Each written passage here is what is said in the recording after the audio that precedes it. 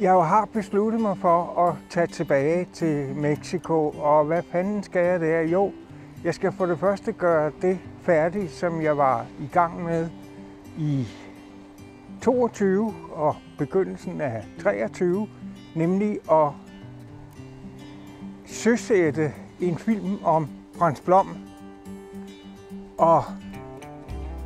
der er vi nået så langt nu, at jeg har afleveret alt det materiale, øh, jeg indsamlede på det halve år i Mexico.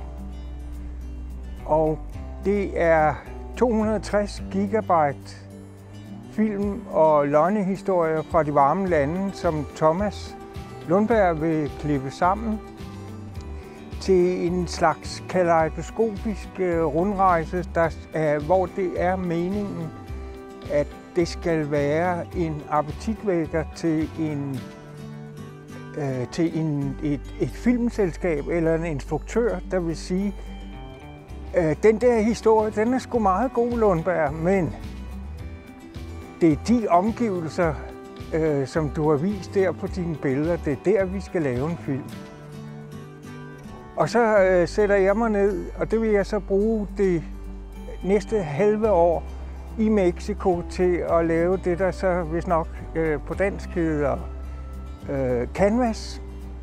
Det vil sige, at jeg tager alt materialet og samler det og præsenterer det over for, hvem jeg nu måtte finde. Og det er jo dig her, instruktør, eller fru frøken filmager, eller hvem det nu bliver, som skal tændes på den idé, hvor billederne jo naturligvis er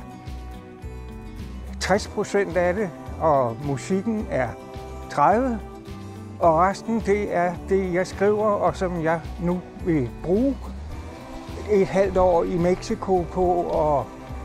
øh, forfatte det såkaldte film treatment. Og, men der er også den anden del af det.